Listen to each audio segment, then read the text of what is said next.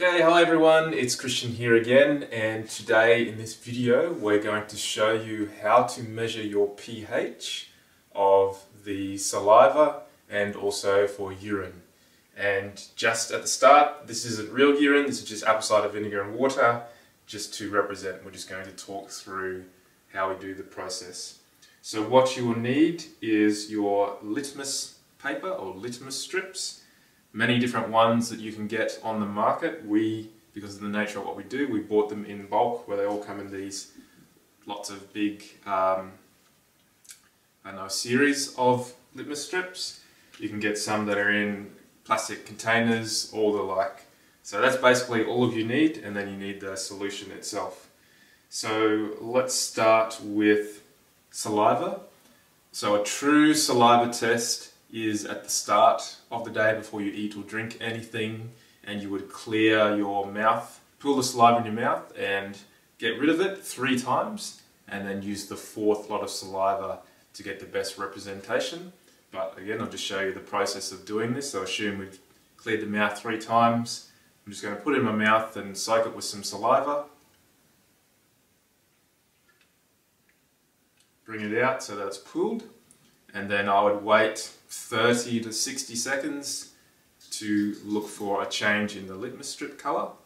So you can see there, um, hopefully you can, you can see the change in the colour happening and pretty much within 15 or 20 seconds you'll start to see if there's anything happening. Sometimes you might need to put it back in the mouth again, but that's nicely coated. Then you'll take the scale that comes with your pH strip um, so this is the example that we have for this particular uh, product and then I match it up to see where I am.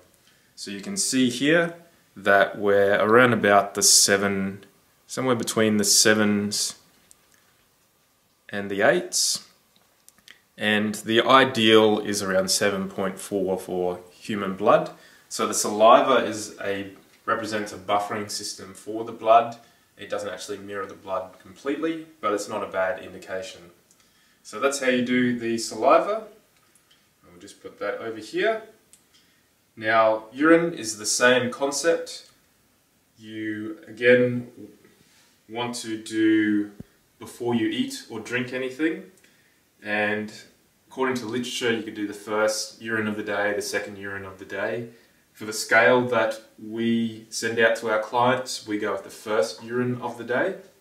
And you can either get it midstream by manually catching the stream, or you can pull it into a plastic cup bigger than this, smaller than this, or something else, such you can pull some of the saliva, sorry, some of the urine, and then all you would do is just dip it in till you get it done. So again, this is apple cider vinegar. So you can see then that um, when we match it to our scale, it's down there in the, let's call it the red zone um, for that particular measure. So that is how you would then do your urine. And as we always tell people, one measure does not show a trend.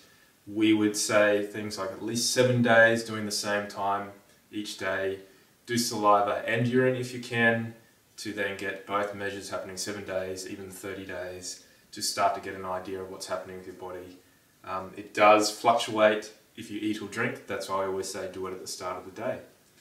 Okay, so now we've covered how to do your pH of your saliva and urine. You're empowered. See you later, bye bye.